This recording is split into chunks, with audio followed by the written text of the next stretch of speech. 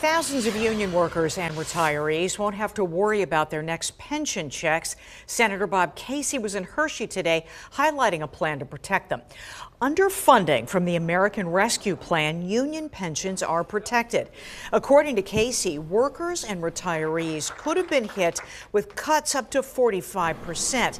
Today, he announced another 6,700 Pennsylvanians will get to keep their full pensions. This is a win for workers. There's a lot of bad news coming out of Washington. This is good news. And we want to make sure that people are aware that this is a, a measure of progress. We got a ways to go. More workers and more announcements to make. This includes workers from Hershey and Lancaster.